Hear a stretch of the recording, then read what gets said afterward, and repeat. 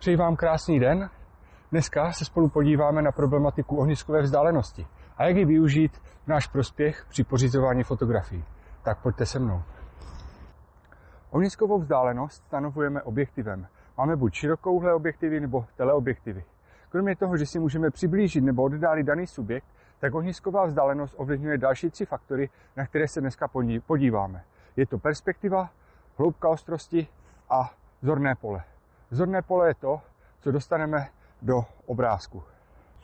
První se podíváme na problematiku zorného pole. Určitě si pamatujete, jak ve starých filmech fotografové si dávali takhle dva prsty k sobě. A musím říct, že to funguje i nyní. Tím, že vlastně přibližuju ty prsty nebo je oddaluji, tak tím měním zorné pole. Pokud dám eh, prsty blíž k obličeji, tak vidím strašně moc toho kolem sebe do šířky. Když dám vlastně ty prsty dál od sebe, tak vlastně se mi to zužuje, to zorné pole.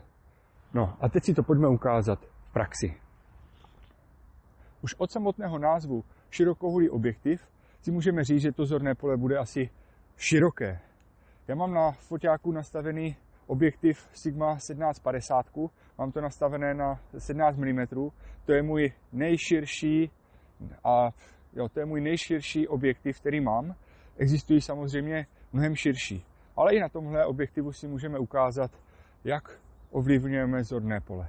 Když se podíváme tady na pravou stranu, tak eh, tam vzadu určitě vidíte elektrické vedení. Je tam nějaký stožár, pak možná na obloze tady vede elektrické vedení. Po levé straně, úplně vlevo, tam bude eh, část, možná vidět část eh, pole rozoraného. Potom tady bude takové pole, které je prostě travnaté.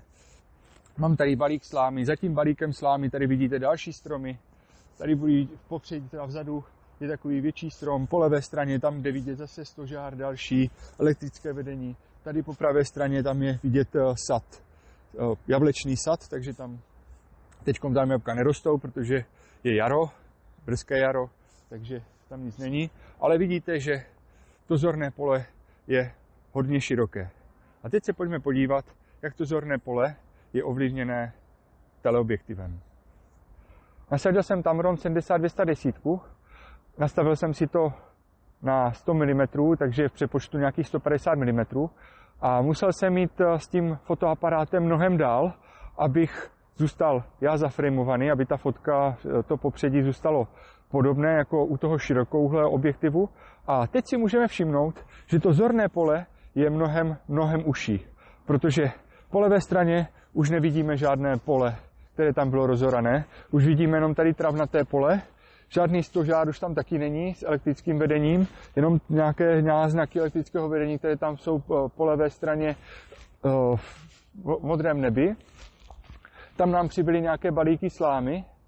Tady po levé straně už není žádný stožár ani žádné eh, elektrické vedení, které by tam vedlo v obloze, která tam měla docela hodně prostoru, toho širokouhle objektivu.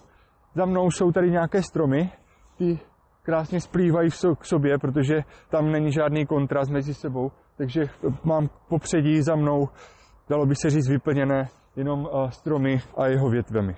Takže tady si můžeme všimnout, že ten širokouhlý objektiv nám dělá to, že celou tu, celou tu to zorné pole nám zužuje. A jak ovlivňuje širokouhlý objektiv perspektivu? Tak charakteristickou vlastností širokouhlých objektivů je to, že to, co je blíž k tomu objektivu, tak eh, zvětšuje mnohem víc, než eh, je třeba realita. A to, co je dál, tak naopak zmenšuje a vzdaluje. Když to řekneme do praxe, tak eh, já teď vyplňuji na výšku celý obraz tohoto, tohoto videa a za mnou je strom, který je asi tak 15 metrů vzdálený. A určitě nebudu plus minus stejně velký nebo něco, o něco málo menší jak ten strom. Určitě budu velice, velice malý, protože ten strom má tak 5-6 metrů na výšku a já 5-6 metrů nemám. Když k němu půjdu blíž, tak si to můžeme přesvědčit. Doufám, že to uvidíte. 1, 2, 3, 4, 5, 6, 7, 8, 9, 10, 11, 12, 13, 14, 15. Přesně 15 kroků, dalo by se říct 15 metrů. A je to mnohem větší, že ano? Takže musíme při fotografování potom na tohle myslet, že když děláme nějakou fotku se širokouhlým objektivem, tak musíme dát něco do popředí. U širokouhlého objektivu jsme si řekli, že širokouhlý objektiv má tendenci ty, ty věci, které jsou dál od objektivu, zmenšovat a vzdalovat. Naopak u teleobjektivu zase jeho charakteristickou vlastností je to, že ty subjekty, které jsou dál od toho objektivu, tak on je přiblíží a zvětší. Tady, když se podíváme doprava, tak eh, si můžeme všimnout, že nám tam přibyly balíky slámy. Já jsem je tam nedával. Oni tam byli i předtím, když jsem měl širokouhlý objektiv. Akorát, jak jsem říkal, ten širokouhlý objektiv je udal strašně maličké, takže to nejde ani rozpoznat, že to jsou balíky slámy. Ale teďkom ten teleobjektiv je přitáhnul blíž a vlastně je zvětšil, takže teď už můžeme říct, že tam ty balíky slámy jsou. Například, když si vezmeme, tak eh, můžeme vidět spoustu foté, fotek, jak eh, měsíc zakrývá nějaký třeba kostel nebo nějaký kopec. A ten měsíc je obrovský. To je způsobené tím, že fotografové mají obrovský teleobjektiv, dejme tomu osmistovku, šestistovku, a tím, že oni jsou dál a tím, jak zazumujou, tak si vlastně přitáhnou ten měsíc a ten měsíc je potom obrovský. A třetí faktor, který ovlivňuje širokouhlý objektiv, je hloubka ostrosti. To znamená, že od popředí do, do, do, do pozadí je toho hodně ostré. Například, když si to vezmeme, tak před chvilkou jsem šel tam k tomu stromu a když jsem k němu přišel, tak jsem celou dobu byl ostrý. A teď, když se budu přibližovat k vám, tak bych měl být taky ostrý. Takže širokouhlý objektiv, obecně, co je známé, tak ta hloubka ostrosti je velká. A jak ovlivňuje teleobjektiv hloubku ostrosti? Tak obecně je známé, že u teleobjektivu je hloubka ostrosti velice, velice malá. Když bychom to vzali na příkladu se širokouhlým objektivem a dali něco do popředí, do prostřed a do pozadí, tak horko těžko budeme mít eh, vše, vše ostré. Například, když se podíváme tady na ty balíky slámy, které jsou za mnou, tak eh, ty budou úplně rozostřené.